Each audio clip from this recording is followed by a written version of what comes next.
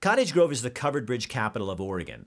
There are seven historic bridges, six covered and one swinging bridge in and around Cottage Grove.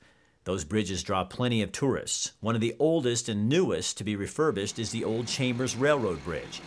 We talked with City Manager Richard Myers about the project.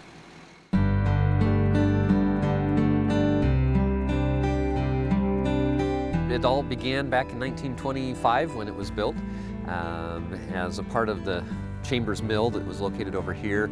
Um, this was a way to get the, the, lumber in from the Lorane Valley and bring the, the logs into the mill.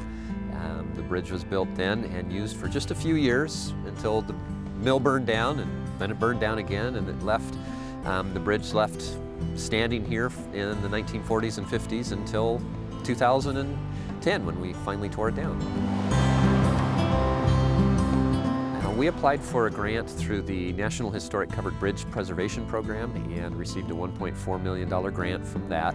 Um, we got extra money from the ARA money, the um, America Reinvestment and Recovery Act money, as well as citizens in the community rounded up their water bills for a number of years just to put extra money in for matching some of those grants. Piece by piece they took it down, they marked each piece, uh, took each piece down, stored it in the, the bridge uh, in the, the facility in Creswell, went through each of those pieces to determine if it was a good piece, could it be reused, how could it be remilled, um, use those pieces to measure to see uh, what, how the new bridge would be put back together so that they made sure they understood, because we don't have the plans for the bridge, um, but they do have the those measurements. We had a 3D model made of the bridge where a surveyor came in and used his laser stuff to measure everything in the bridge as it was existing so that they could get a, a really good picture of how everything pieced together so that they could then construct the plans of how to build the bridge and put it back the way it was.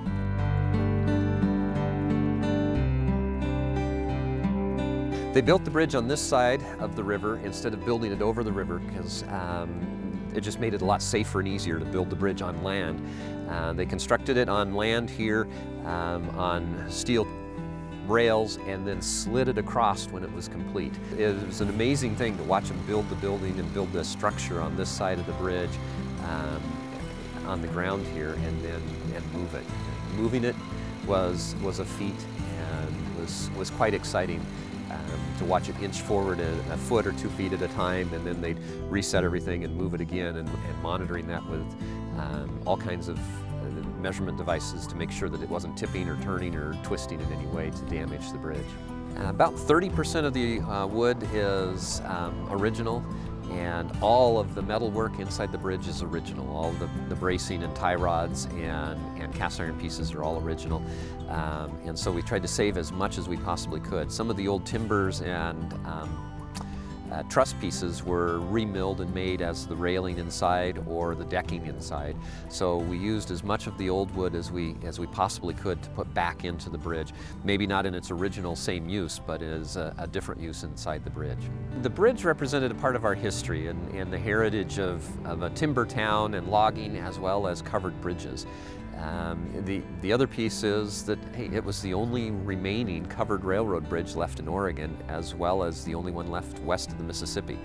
Um, there were only eight covered railroad bridges left in the country, and this was a, a big piece of history, and we wanted to save it. Cottage Grove has these great little maps of the covered bridges, and actually you can pick them up at the Chamber of Commerce, and inside is a self-guided tour of all the covered bridges in the area. In keeping with the preservation of history in Cottage Grove, one project that's getting a lot of attention and going to take a lot of work is the old Armory building.